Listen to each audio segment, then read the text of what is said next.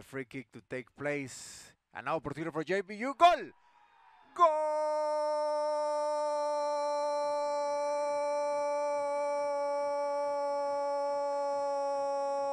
Goal, goal, goal, goal, goal, goal, goal. Goal!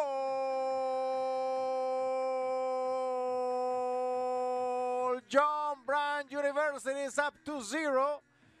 And we're not I'm not sure from here if the ball came directly into the goal. Or number 24